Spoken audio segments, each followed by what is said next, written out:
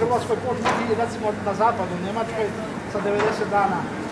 Mi, mi paški svi svake godine prvi na tržište izlazi godišnji za Uskrs. Znači ovo što se napravi sad, Za Uskrs. 90 dana, to je 3 Da.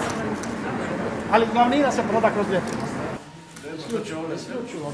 Milion posto Što će Oleg reći sada? Ti zanima? Zanima što će Oleg reći? Ali ja vas čekam na ovom. Na ovom. A to mo- možemo preskočiti? Jako bitno.